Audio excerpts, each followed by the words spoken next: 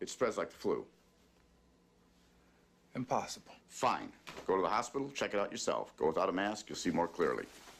You got 19 dead, you got hundreds more infected, and it's spreading like a brush fire. You got to isolate the sick, and I mean really isolate them, Billy. We got to get everybody else back into the houses. We got to keep them there.